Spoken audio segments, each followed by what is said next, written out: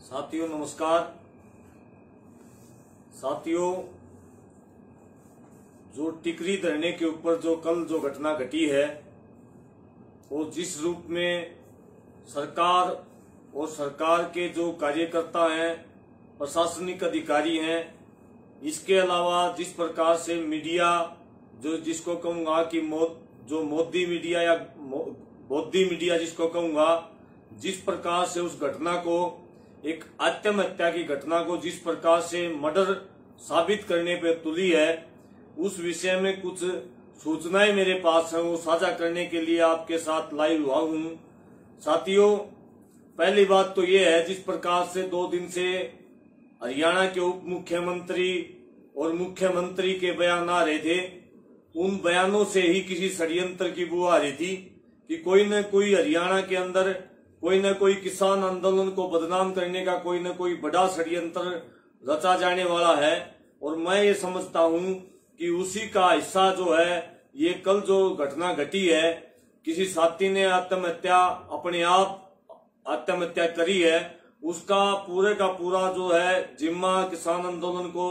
दिया गया है। मीडिया के माध्यम से कुछ अखबार हैं, जैसे जागरण अखबार है, उसने भी ये छापा है कि किसान आंदोलन के अंदर ज़बरदस्ती किसी किसान को चढ़ाया गया है। साथियों, लेकिन ये बिल्कुल भी सत्य नहीं है। सच्चाई ये है कि वहाँ जो एचपी का जो पेट्रोल पंप है, उस पेट्रोल पंप के अंदर से उस मुकेश नाम के साथी ने अपने आप से पेट्रोल लिया है और वहाँ का जो प्रत्यक्ष दर्शी था, भाई पारस भाई जो एक कोई कलाकार है पंजाब का गायक कलाकार है, उस प्रत्यक्ष दर्शी ने बताया कि हमने जब ये उस जलते हुए आदमी को देखा तो बल्कि आंदोलनकारी कुछ महिलाएँ वहाँ खाना पका रही थी। उन खाना पकाने वाली महिलाओं ने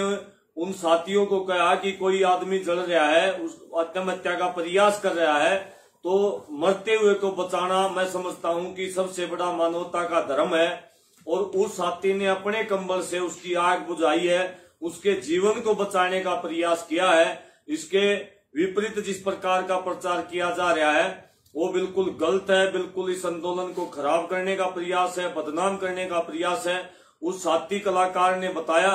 कि खुद ही उसने पेट्रोल वहाँ से खरीदा है, उस पेट्रोल पंप से, और पेट्रोल डालने वाला भी उसी के गाँव का है। उस, उसका नजदीकी है, उसी ने उसको सूचना दी है। जो वीडियो वायरल हो रही, वो वीडियो भी उस साथी ने बनाई है, जिस वीडियो के अंदर वो खुद अपनी बात को मान रहा है कि कोई घरेलू झगड़ा उसका हुआ है और जिसमें वो अपनी पत्नी का नाम ले रहा है। हमें उनके परिवार के साथ भी सहानुभूति है और उस साथी के साथ भी सहानुभूति है। लेकिन जिस प्रकार से कुछ लोग जो बीजेपी के इशारे के ऊपर इस आंदोलन को बदनाम करने के लिए, इस घटना को किसान आंदोलन से जोड़ रही है, जोड़ रहे हैं, वो बिल्कुल गलत कर रहे हैं। वो जो साथी प्रत्यक्ष दर्शी था, उसने बताया कि उसने पहले से शराब पी हुई थी और उसके जो, उसने जो कपड़े डाले हुए थे, उसके अंदर से भी शराब की बोतल उसके जेब के अंदर पहले से ही रखी थी। और जो वीडियो सोशल मीडिया के ऊपर वायरल हो रही है, उसके अलावा भी दो तीन वीडियो उस साथी ने बना रखी है।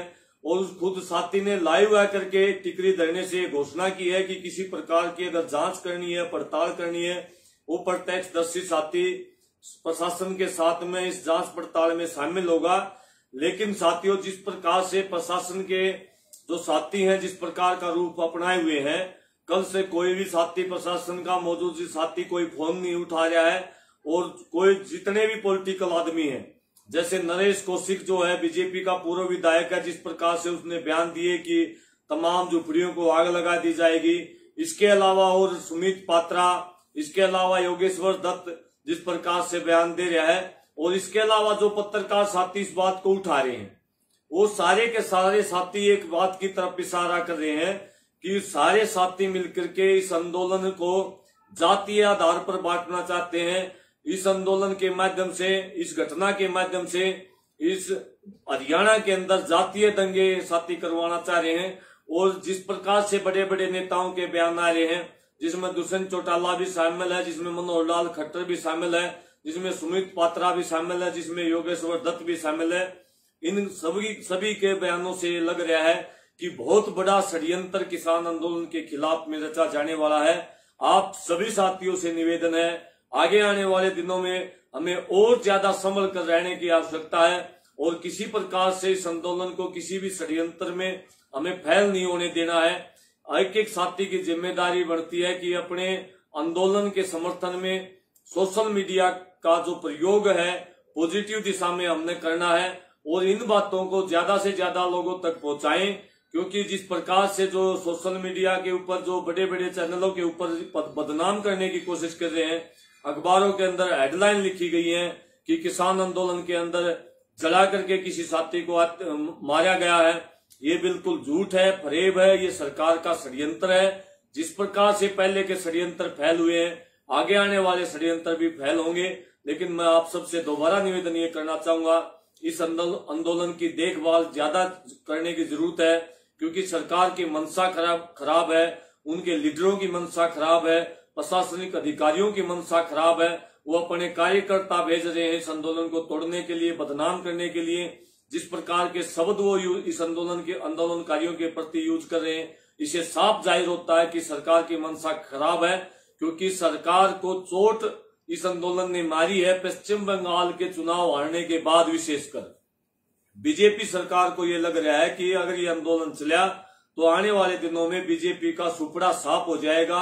क्योंकि यूपी के चुनाव आने वाले हैं। यूपी के चुनाव से पहले ये लोग इस आंदोलन को तोड़ना चाहते हैं, इसलिए इनने पूरी ताकत इस आंदोलन को बदनाम करने के ऊपर लगा दी है। जगह जगह झूठी पंचायतें की जा रही हैं। कोई गाँव कोई लोकल गाँव आंदोलन के खिलाफ नहीं है। इनके अपने कार्यकर्ता हैं इनके अपने जो आरएसएस के साथी है वो लोग हैं जो इस आंदोलन के प्रति गलत भावनाएँ रखते हैं। पंचायतों का झूठा नाम लेकर के इस आंदोलन के प्रति दुष्प्रचार कर रहे हैं।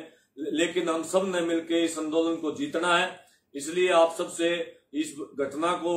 आप सबको सच्चाई बताने के लिए मैं लाइव हुआ, हुआ था। आप सब साथियों को